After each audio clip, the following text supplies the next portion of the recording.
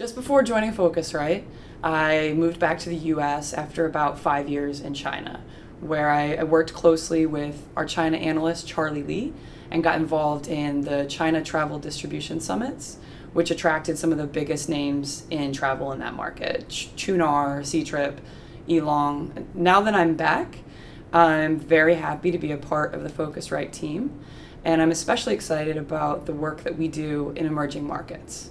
We bring to the table proven methodologies and years of expertise, and we are fortunate enough to work with some of the most passionate and knowledgeable people in those countries.